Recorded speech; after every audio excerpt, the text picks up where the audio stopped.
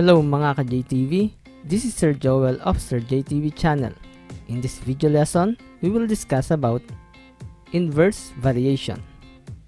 At the end of this video lesson, you are expected to illustrate situations that involve inverse variation, translates into variation statement a relationship between two quantities given by table of values, mathematical equation, a graph, and vice versa and solves problem involving inverse variation. Huwag kalimutan mag-subscribe at pindutin ang notification bell para updated kayo sa mga i-upload ko mga video lessons. Pindutin din ang like button sa ibaba kung nakatulong itong video lesson sa'yo. So, let's begin. Okay, define muna natin kung ano ba yung inverse variation. So, inverse variation occurs whenever a situation produces pairs of numbers whose product is constant. Okay, so dito, meron daw tayong pares ng numbers. Ito yung dalawang variable natin. So, we have variables x and y. And sabi niya dyan, product daw. So, pag multiply natin yung dalawang variables na yon and yung makukuha nating answer ay constant. Okay. ba diba doon sa direct variation, ano siya, um, ratio pinagdi-divide natin yung dalawang variable tapos makuha yung constant. Pero dito sa inverse variation, pinagmumultiply natin yung dalawang variables. Then makuha natin yung constant. This statement y varies inversely to x and y is inversely proportional to x may be translated mathematically as y equals k over x where k is the constant of the variation. So dito sa inverse variation, yung magiging um, mathematical statement natin ay y equals k over x.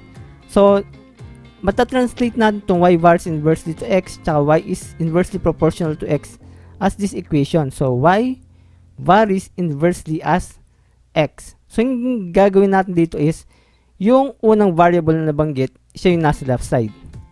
And yung pangalawang variable na nabanggit dyan sa inverse variation, siya yung nasa right side ng equation. Pero siya yung nasa denominator.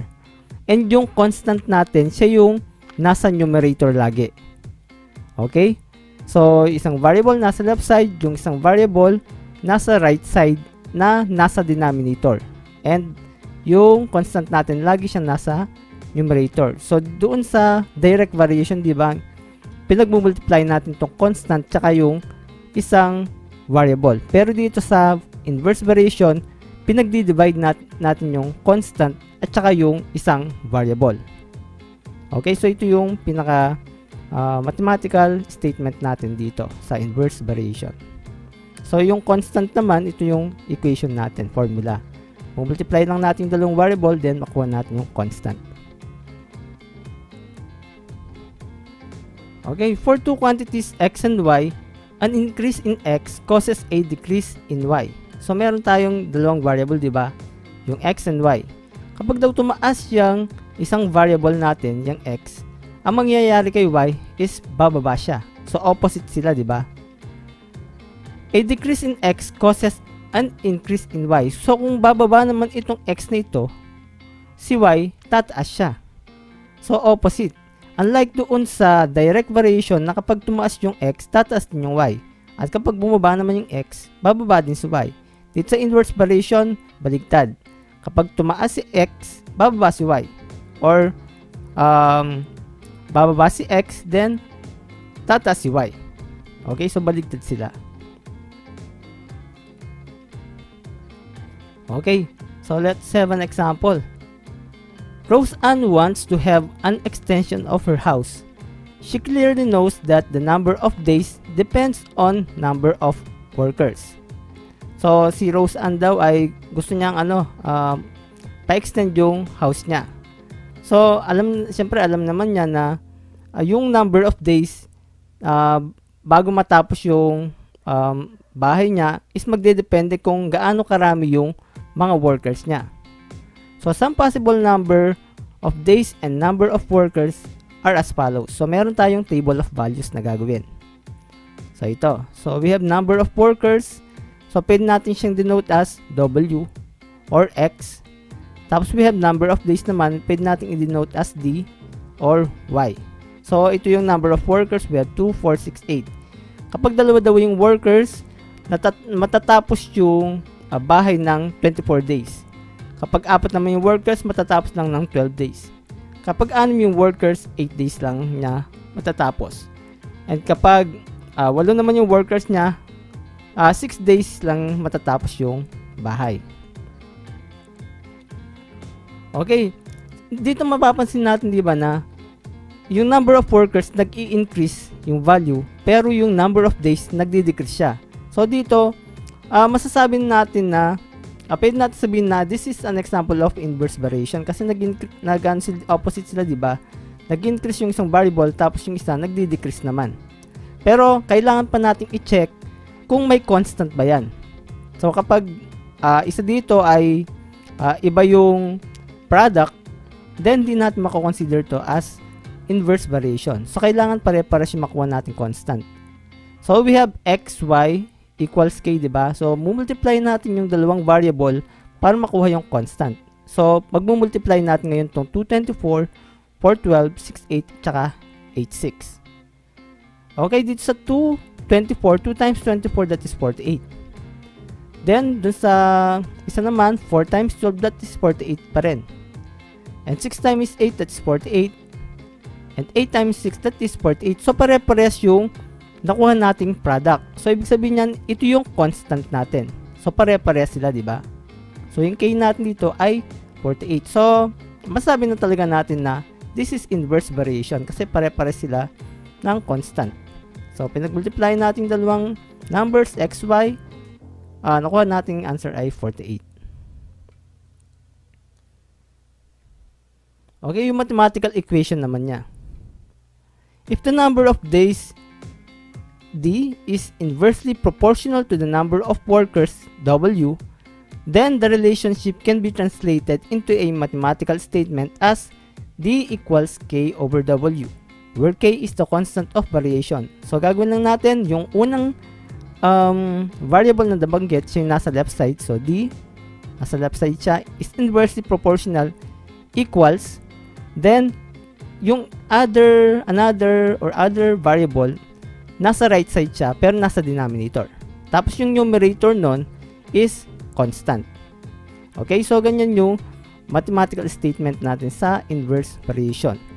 So, dinidivide natin yung constant at saka yung isang variable.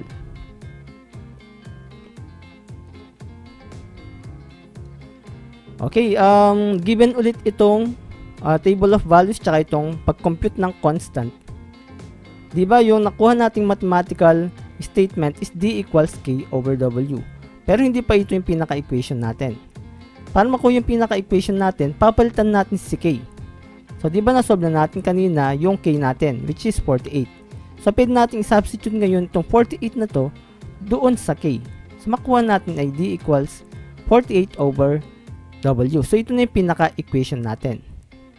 So, uh, madali na lang natin ma-solve ngayon kung um, ilang days yung aabutin kapag nagdagdag tayo ng um, workers. So, let's say, nagdagdag tayo ng 16, uh, naging 16 yung workers natin. So, sasubstitute lang natin yung 16 dito sa W, number of workers. So, ayan siya, 16. So, ilang days siya aabutin? So, i-divide lang natin. 48 divided by 16, that is 3. So, kung 16 yung workers mo, um, matatapos mo lang yung bahay ng 3 days. So, ganun ka importante itong equation na ito. So, madali lang natin masosolve yung mga um, atin natanong dito sa table na ito. So, hindi na natin kailangan uh, mag-list, i-list lahat ng mga number of workers at number of days para makuha yung tinatanong. So, just apply ditong um, equation natin. Okay, paano naman yung graph niya? ng inverse variation. Sa direct variation, di ba, yung graph ng direct variation is straight line. So, dito sa inverse variation, ano kaya yung magiging itsura ng graph natin? So, ipa-plot natin ngayon itong mga coordinates natin dito. So, itong 224, 412, 68, and 86. Ipa-plot natin siya dito sa graph.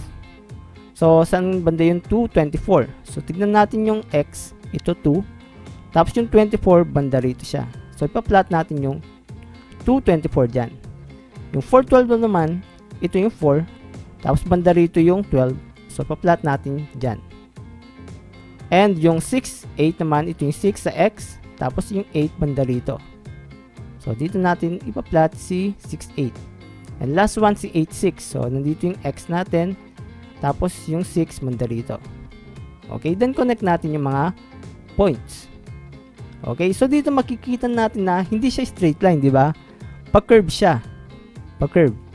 So, yung graph ng inverse variation kasi, ganito siya.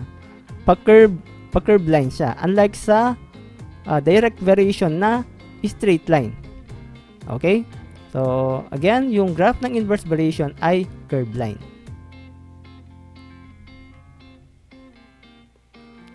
Okay, next, write the mathematical statement for the given variation using k as the constant of variation. So, uh, try natin to. I-translate natin. The base B of a triangle varies inversely as its altitude, h. So, paano kaya yung uh, mathematical statement niyan? So, yung equation natin is B equals K over H. So, unang nabanggit si B, di ba? So, na siya yung nasa left side. Um, then, yung nasa right side is yung altitude. Tapos, nasa denominator siya. And yung nasa numerator natin, laging, lagi yung constant. Number 2, the width of a rectangular box varies inversely to its length.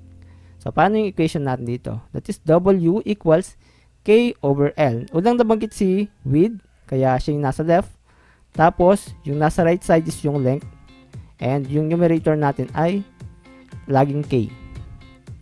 And number 3, the time T required to empty a tank varies inversely as the rate R uh, of pumping. So, paano yung equation natin? So, that is T equals K over R. Unang nabanggit si T, si time, kaya siya yung nasa left side. And pangalawang nabanggit si R, kaya siya yung nasa right side. Nasa denominator siya. And again, yung numerator natin ay laging K or constant. Okay, next steps on how to find the constant of variation and the equation of variation.